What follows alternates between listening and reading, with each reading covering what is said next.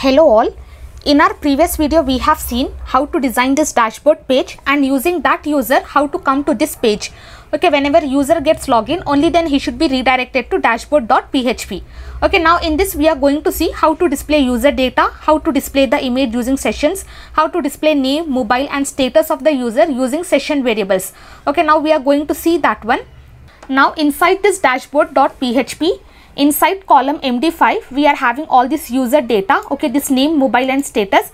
Now whatever data i'm having inside the database that data should be displayed here. Okay let me just come back. I'll just come back. I'll refresh this one. Now here i'm just going to log in using khanam mobile number password 123 and i'm just going to give voter. I'll just log in. Now all the data related to khanam should be displayed here.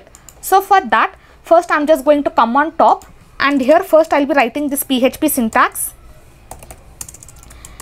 First I just have to start the session here. I'm just going to write here session and inside this I'm just going to write here start. Okay, session start. Only then I will be able to access the session variables and I can use that one.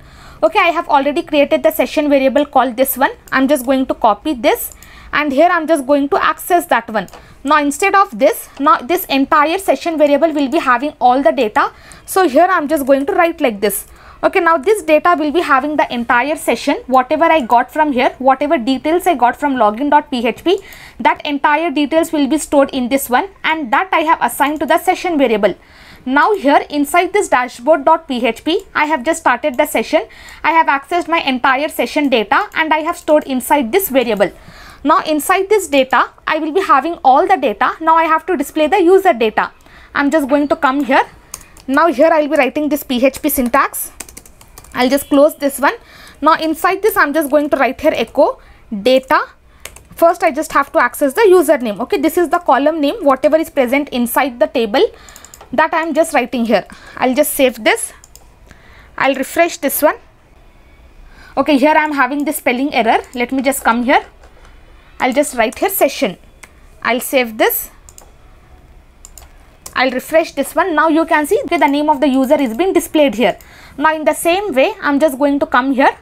I'll just copy this one and here I'm just going to paste and also here I'm just going to paste. Now instead of username, I'm just going to write the mobile column name and here I'm just going to write the status. I'll save this. I'll refresh this one. Now you can see here I'm having this mobile and here I'm having the status. Now instead of this and here also I'm just going to change now here first I'm just going to come outside this partials folder. I'm just going to come inside this uploads folder. Now here I'll be writing PHP code. Inside this I'm just going to write here echo then data and inside this data I'm just going to write the column name. Okay, whatever is present inside the database I'm just going to write that one. I'll refresh this. Now you can see the image is also appearing here. Whatever image I have given inside the database that image is been displayed for me. Now here what I am going to do is I will just do control B. I will just create one style sheet style.css. Now inside this I am just going to write the image. Now for this image I am just going to give the width.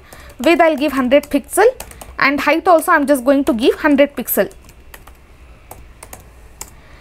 And also I am just going to give object fit, object fit to be contain. I will save this. Okay, now it is not going to work because I have not linked that file. Now inside this dashboard.php, I'll just come here. I'll just come on top. Now below this, I'm just going to link CSS file. I'll just write here link colon css and inside this here i'm having this style.css now my style is present let me just come outside then i'm just going to write here style.css I'll refresh this one. Now you can see here I am having this image which is having 100 pixel of height and 100 pixel of width. Okay, this is how we are going to display the user data. Now in place of this status, I should be getting whether the user is voted or not. Okay, so for that here I am just going to come on top. Now here I am just going to write this condition if my session if my session of status let me just write here status if it is equal to equal to 1 then here I'm going to create the variable called status and inside this I'm just going to write here bold tag. For this I'm just going to give the class. Class I'll just write here text success. And inside this I'm just going to give here voted. Okay, if the status is 1 then I should be displaying the user is voted. And here let me just change it to double quotes. I'll just copy this entire line. I'll just close this one. I'll just copy this entire line. Here I'm just going to write here else. Now below this I'm just going to paste that one. Here I'll just write here danger and here I'm just going to write here not voted.